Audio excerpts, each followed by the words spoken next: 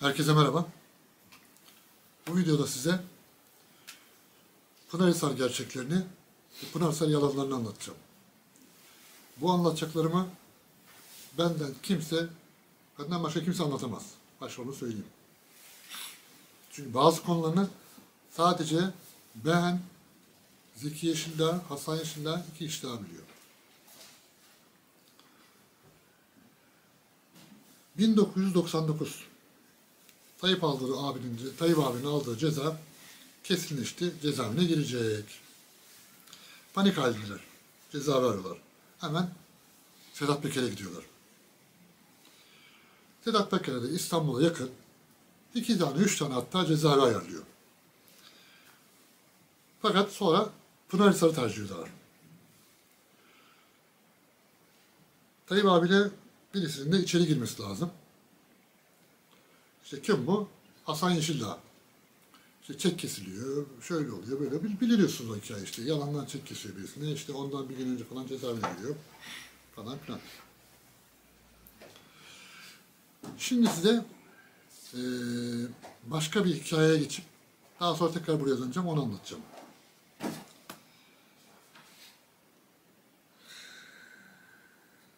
Hasan Yeşildağ her zamanki gibi yurt dışından işte geliyor, havaalanından ben alıyorum.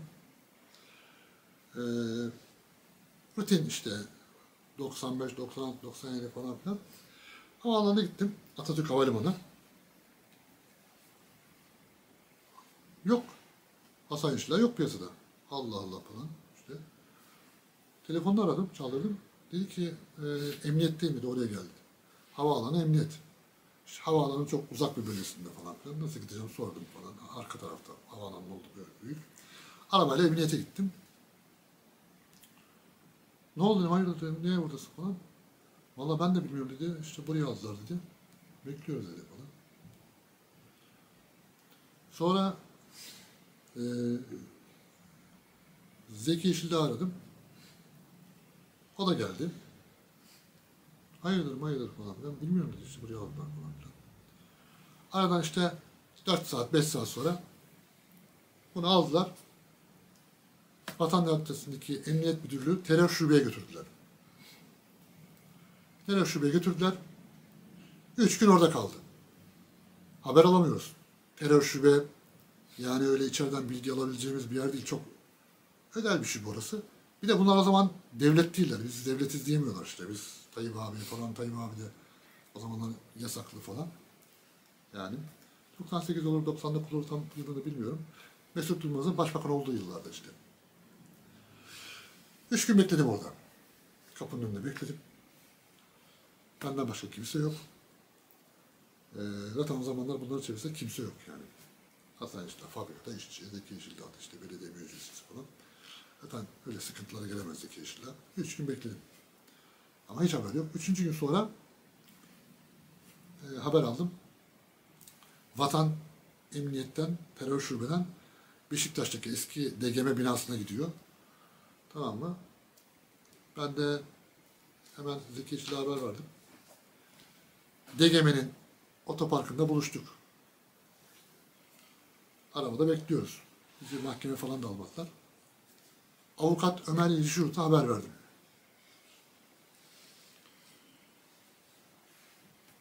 Ömer Yeşilyurt işte eski bir avukat.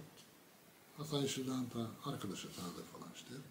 Aynı davada işte mücadele etmişler falan. Ömer Yeşilyurt da geldi. Yanında Ali Yıldırım da geldi. Ali Yıldırım da eski dostumuz. işte Hasan Yeşil'den da eski tanıyor. Zeki Yeşil'den de eski tanıyor. Ortaklık yaptık falan. Su işi falan beraber anlatmıştık daha önceki videolarda. Ali Yıldırım geldi. Bekledik biz dışarıda. Yani 3-4 saat bekledik. Arabada oturduk Zeki Yeşildağ'la. Sonra Hasan Yeşildağ geldi. Geldi. Hayırdır dedik. Ne oldu? Falan. Ya dedi, dedi başbakana suikast planlamakta dedi, şey ifademi aldılar dedi. E ne ne dedi? Ya sen başbakana suikastla ne şey falan. Ya dedi İsviçre dedi konsoloslukta dedi oturuyorduk dedi. Haluk Kırcı da oradaydı dedi. Tamam mı işte Mesut Yılmaz'ı işte öldüreceğiz mi öldüreceğiz böyle dedi. Aramızda konuşurken dedi. Tamam mı? Orada da bir tane MİTçi varmış dedi. Bizi dedi Türkiye'ye bildirmiş dedi. Bunu rapor etmiş dedi. Beni havaalanına aldılar dedi. Durum bu. Yani Başbakan'a suikast planından da kaydı var Hasan Yeşildağ'ın. Mahkemede terör şubede orada var yani. Nerede konuşmuşlar bunu? Zürih'te konsoloslukta. Kimle? Haluk Kırcı'yla. Haluk Kırcı yaşıyor. Şimdi size bir kitap okuyacağım. Bir kitap göstereceğim pardon. Görüyor musun? Meşhur bir kitap. Recep Tayyip Erdoğan. Bir liderin doğuşu. Kim yazmış? Hüseyin Besli. Ömer Özbay da var ama Hüseyin Besli önemli burada olan. Ben tanımıyorum. O da önemli olabilir. Şimdi oradan bir kitaptan bölüm okuyorum. Bölümün başlığı şu. Onu hapishanede susturacağız. Hasan Yeşil'la konsolosluk işlerini bitirmiş, çıkmak için kapıya yönelmişti. Güvenlik bankosuna oturan polis memuru, polis memuru görünce durdu. Cengiz abi burada mı? Yukarıda. Hazır yolumuz düşmüşken uğrayıp bir selam vereyim. Dedikten sonra polis memurunun bir şey söylemesini beklemeden asansöre yöneldim. Normalde randevu almadan kimseyi yukarı çıkarma, çıkamazdı. Cengiz Bey de içli dışlı olduğunu bildikleri için kendisi bu kurulun dışındaydı.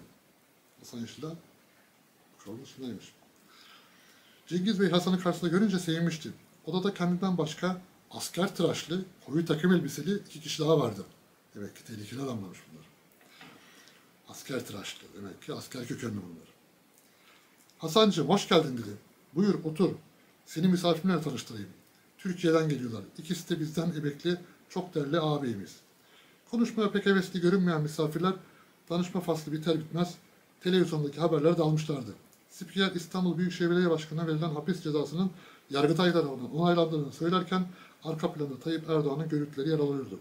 Cengiz Bey yüzünü tiksintiyle buruşturarak misafirlerine döndü. Misafirlerine döndü. Yahu kesmediniz gitti şu herifin sesini. Bak hala konuşuyor. Şöyle. Misafirlerden yaşlı olanı merak etme diye cevap verdi. Sesi boğuz, boğuk ve hızır, hırıltılıydı. Tehlikeli adamların sesi bu. Az kalsın hapishanede bitireceğiz işini. Az kaldı. Hapishanede bitireceğiz işini. Hasan Yeşildağ duydu, duyduğu sözlerin dehşetiyle donup kalmıştı. Kulaklarına inanamıyordu. Adamlardaki pervasızlığa bak diye geçirdi içinden. Cinayeti azmettikleri yetmezmiş gibi ulu orta dinlendirmekten de zerre kadar çekinmiyorlar. Odada biraz daha kalırsa gittikçe artan tedirginliğinin kendisini ele vereceğinden korkarak toparlanmaya çalıştı. Cengiz abi Tayyip Bey'le tanıştığından bir haber Cengiz abi Tayyip Bey'le tanıştığından habersizdi. Tamam tanıştığından habersizmiş. Asansöre doğru yürürken başı zonkluyor, bacaklarının titremesine mani olamıyordu. Tamamen tesadüf olarak elde ettiği bu bilgi hayatı önem, öneme haizdi. Çünkü Cengiz Alkan MİT İsviçre sorumlusuydu. Hasan Yeşildağ bu olaydan iki hafta sonra Türkiye'ye aldığı bilgiyi ilk olarak İstanbul Büyükşehir Belediye Meclis Üyesi olan kardeşi Zeki Yeşildağ'la paylaştı. İkisi de bir süre iç- içinde durumu Tayyip Bey'e açmamanın e, uygun olmayacağını düşündüler. Ne gibi önlemler alabileceklerini gözden geçirdiler. Zeki kestirip attı. Abi uzatmaya gerek yok. Tayyip Bey'le beraber sen de gireceksin ya- cezaevine.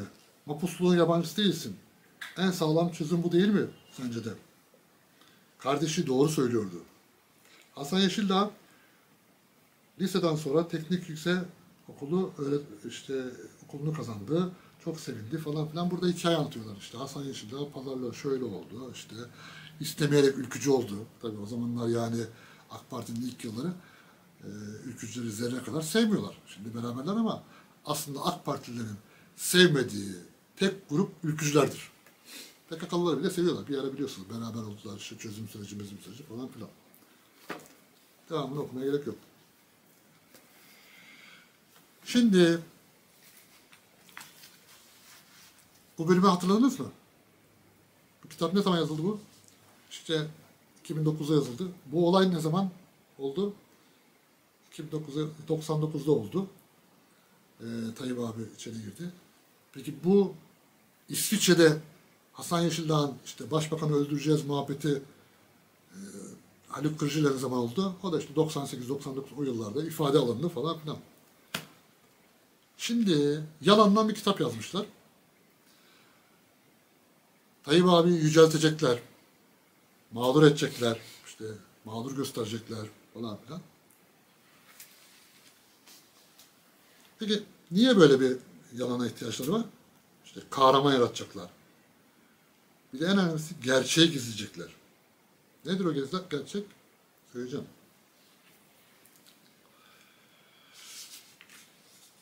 Ben de cezaevine ziyarete gidiyordum. Tayyip abiyi. İşte Hasan Yaşar'la ben oturup işte sohbet ediyorduk. İlk gittiğimde hatta Tayyip abiye kitap gö- götürmüştüm. Kendi kütüphanemden bir kitap götürmüştüm. İşte Solzhenitsyn'in bir kitabını götürdüm. Ivan Denisovic'in bir günü diye işte. işte cezaevinde hani okusun da rahat yatsın falan filan. Zor bir günü atlatıyor falan. Nobel Edebiyat ödüllü bir kitap. İşte Tayyip abiye soruyorum ne lazım, ne. İşte ayakkabı al, gömlek al, işte şunu al, bunu al, işte alıyorum. Sana ne lazım işte, abi sana ne lazım diyor. İşte o da bunu al, bunu al diyor. Götürüyorum. İşte kirli eşyalarını veriyorlar bana.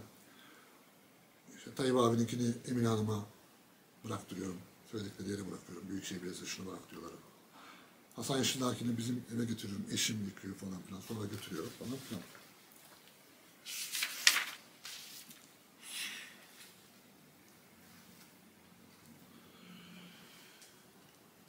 Ee, kitapta şöyle yazıyor.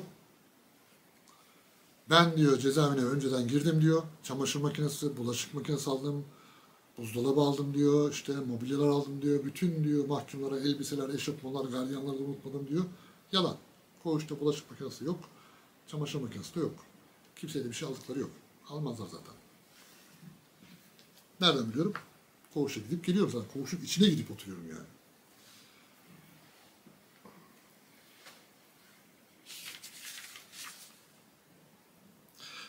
Hatta bir keresinde dedim ki siz buraya niye dedim meydancı almıyorsunuz dedim. İşte meydancı nedir? Gönüllülük esasına dayalı ihtiyacı olan birisi koğuşun işte temizliğini yapar, bulaşıkları yıkar falan filan. İşte ona da gönlünden bir kopan veya bir belli bir miktarı var da onu verirsin. Dedi ki olur mu dedi ya. Reisin dedi özel durum var ya dedi. Dedim gündüz gelsin değil mi? Akşam gelsin. Yok yok. Siz yokken gelsin dedim. Ziyaretçiler geliyor. Yok yok. Olmaz olmaz. Sıkıntı olur dedi. Bu arada Tayyip abinin özel durumunu merak ediyorsunuz değil mi? Anlatayım. Arda, yani Erdoğan ailesinin en büyük sırrı bu. Bu sırrı bilenler ne yaparsa yapsın. Ama ne yaparsa yapsın Tayyip abi tarafından hoş görülür. Önü her zaman açılır. Yaptıkları her zaman hoş görülür. İşte örneğin mesela Hasan Dağcı bunlardan birisidir. Mesela Hasan Dağcı'nın gay olduğunu bütün İstanbul biliyor. Gece kulüplerinde, ge- yani gay kulüplere gidiyor. falan. Herkes biliyor yani Hasan Dağcı. Özel kalem müdürlüğü yaparken de gay olduğu bilinir. Çünkü Emine Hanım bunu evlendiriyor. Ee, evlendirdiği hanım diyor ki iki ay sonra gidiyor. Kardeşim e, Emine Hanım diyor. Beni diyor bununla evlendirdiniz ama bu adam gaymiş diyor. Ya. Siz niye bana böyle kötülük yaptınız falan diyor. Aman diyor kız sus kızım işte. O diyor işte aile arasında kalsın falan filan. Ama ona rağmen çıkarmıyorlar. Çünkü Hasan Dağcı da bu sırrı biliyor.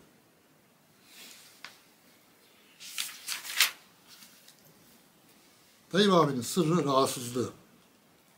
Yani rahatsızlığı ilgili bir rahatsızlığı var. Bu bir sır. Ailenin en büyük sırrı. Ama öyle hani bildiğiniz işte kolon kanseri biliyoruz kardeşim falan o, o değil.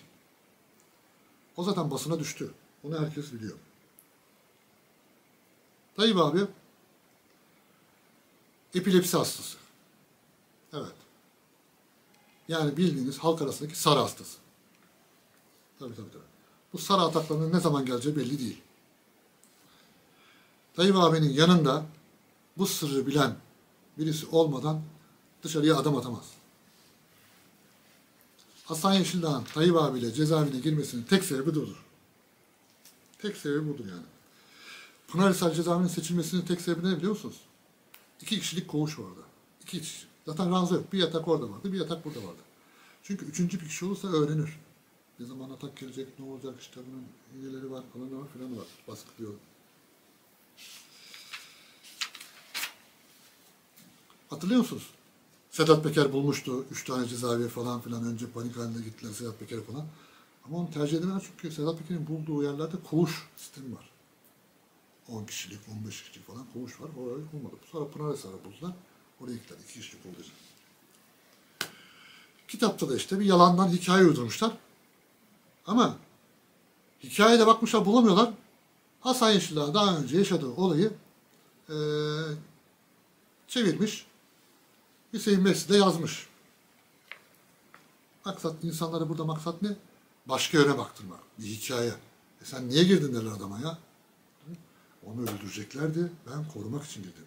Halbuki Hasan Yeşildağ'ın iki tane görevi var. Bir, meydancılık yapmak. iki Tayyip abinin işte ilaçlarını, işte atak gelirse ne yapacağını biliyor falan filan. Sana nöbetleri gelirse. Bu sırrı bilen bazı insanlardan size bahsedeyim şimdi. Mesela Ahmet Hamdi Şamlı. Tabii, bu sırrı en eski bilenlerden. Şoförü. Daha sonra milletvekili yaptı. Zaten dikkat edin. Tayyip abinin ilgili ilgisiz yanında sürekli vardır o. Sürekli bir yerden bakarsınız Ahmet Hamdi Şamlı çıkmış. Ali Erdoğan. Şimdi düşünebiliyor musunuz? Türkiye Cumhuriyeti'nin, devletinin başında Atatürk dahil bir sürü devlet adamları geldi. Hiç kimse ailesinden birini getirmedi yanına. Yani devletin, devlet başkanlığı, başbakanlığı koruyacak yetişmiş profesyonel adamları yok mu güvenilir? Var tabii ki. Ama Ali Erdoğan'ın görevi şu. Sürekli Tayyip abinin yanında olacak. Bu konuyu kontrol edecek. Yoksa Ali Erdoğan'ın öyle bir eğitimi yok ki. Güvenlikle ilgili, emniyetle ilgili, devlet adamının görevi korumayla ilgili. Bunun ayrı bir emni- eğitim var zaten. Başka kim var? Size söyleyeyim. Eski özel kalem müdürü Çağatay Kılıç. Tabii bu da öyle. Milletvekili oldu, bakan oldu. Şimdiki bakan Mustafa Varank. O da biliyor. O da Tayyip abiyle beraberdi hatırlarsanız. Yani sürekli beraberdi. Uçağındaydı orada burada falan filan. Mustafa Varank. Nedir şimdi? Sanayi Bakanı. Mustafa Varank. Oto sanayinden başka sanayi görmüş müdür sizce? Yok.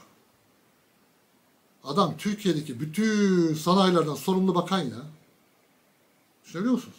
Adamın gördüğü tek sanayi oto sanayi. Hasan Dağcı. Hasan Dağcı'nın gay olduğunu bütün aile biliyor. Ben bir kere Mustafa Erdoğan'a sordum. Ha mı? Doğru dedi. Adamın kendi tercihi dedi. Sen ne yapalım dedi. Herkes biliyor ya. Bütün İstanbul gece kulüpleri biliyor. Bodrum'da marina, marinaya, Yalıkavak marinaya teknesini çeker yazın. Orada bütün Bodrum biliyor.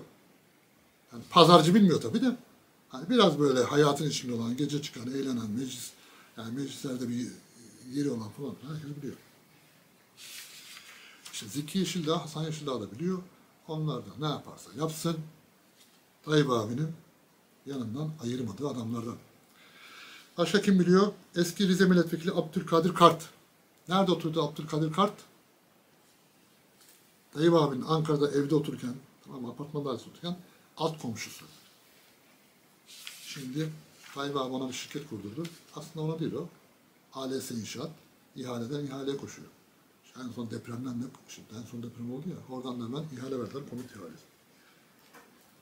Mücahit Aslan bilir. Mesela Mücahit Aslan, Tayyip abinin tam arkasındaki adamdı bir ara. Hayati Yazıcı bilir. Tabii. Bunlar değişmez adamlar. Başkaları da var. Neyse geçelim. Bu isimler her zaman Tayyip abiye sadıktır. Bunların hepsi beş parası adamlar. Hepsi beş parası adamlar zengin oldu. Ne yaparsa yapsın hoş görülür. Evet, Tayyip abi sarı hastası. Ailenin en büyük sırrı. Şimdi Tayyip abi bakın psikolojisi hep bozuk. Dikkatli bakın sürekli sinirli. AK Parti teşkilatlarının yani toplantılarına bile sürekli kaşlar çatık, bağırır, çağırır yani sürekli ama ya dikkat edin ya. Bir de şöyle bir şey yapın bak. Eski liderlerin konuşmalarına bakın. Sosyal medyadan açın. Tamam mı? Öyle enteresan bir durum var ki. Yani bakıyorsunuz biz ileriye mi gitmişiz, geriye mi gitmişiz? Yani bu kadar hoşgörülü, kapsayıcı, kucaklayıcı, kısa da bir ölçü içerisinde yani kullandığı cümleler, kelimeler Tayyip abininkiyle hiç alakası yok. Lütfen bakın ya. Bir de Tayyip abininkilere bakın. Sürekli ama kaşlar çatık, burun çekik, bağırıyor, çağırıyor, öt, öt, eğit falan filan.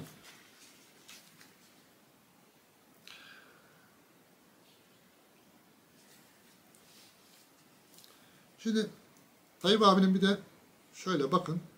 Kullandığı kelimelere bakın cümle arasındaki. Ben size örnek vereceğim.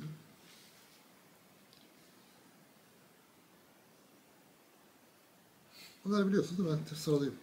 Cibiliyetsiz, namussuz, alçak. Bir de bunları vurgulayarak söylüyor. Sapık, haşhaşi, nebbaş, pislik, tezek, sıkıyorsa falan. Ölü sevici. Ya ölü sevici ne Tayyip abi ya? Ölü sevici ne ya? Vallahi ben hayatımda ilk defa duydum bunu biliyor musun ya? Ben ki cezaevlerinde bulundum, değişik farklı ortamlarda bulundum. Ölü sevici nedir ya? Diğer devletler zaman bakıyorsun düzeyli, nezaket içerisinde. Yani dinimiz de bunu emrediyor biliyor musun? İşte alçak sesle konuşun, düzeyli konuşun, düzgün konuşun, yalan söylemeyin falan filan. Dinimizde de böyle şeyler var yani. Kur'an-ı Kerim'i Türkçe okursanız orada yazıyor yani. Hayata dair çok güzel şeyler var. Ama işte biz cennete gideceğiz, huriler var, içeceğiz, yiyeceğiz, işte falan filan. Oralardayız. Ya Tayyip abi sen Cumhurbaşkanısın ya, ülkenin rol modelisin yani. Senin çocuklara, gençlere örnek olman gerekmiyor mu yani? Bu kelimeyi kullanma yani bence ya. Yeter bırak ya. Bırak. Bak kendini hayatın akışına bırak ya. Bırak tadını çıkar ya. Bu ne ya? Yedin bitirdin kendini ya. Bir de bu jargon artık kahvelerde kullanmıyorlar Tayyip abi. Vallahi bak. Evet. Tayyip abi sarı hastası. Prompter olmadığı zaman sinirleniyor ama ikinci kanala geçiyor. Şimdi hatırlıyor musunuz? Ankara'da makam arabasında rahatsızlandı. Herkes bilir işte makam arabasında. Orada atak geldi. Şoför panikledi. Bir de kapılar kilitlenmiş galiba. Böyle bir güvenlik önlemi varmış. Ne dediler?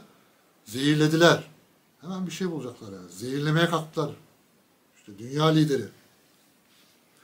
Peki İngiltere Kraliçesi vefat ettiğinde bütün dünya liderleri orada. İngiltere Kraliçesi vefat etti. Bütün dünya liderleri orada. Tayyip abi gitmedi. Hatırlıyor musun? New York'a gitti. Central Park'ta oturdu falan biliyor. E niye gitmedi? Tayyip abi kaçırır mı bu fırsatı?